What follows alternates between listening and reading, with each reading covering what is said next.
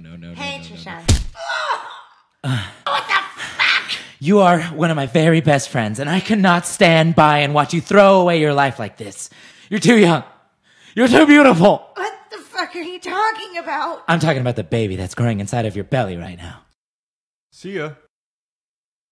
I'm not pregnant. Well, not after that punch, you're not. I've been taking Muay Thai classes. I was never pregnant, Trisha.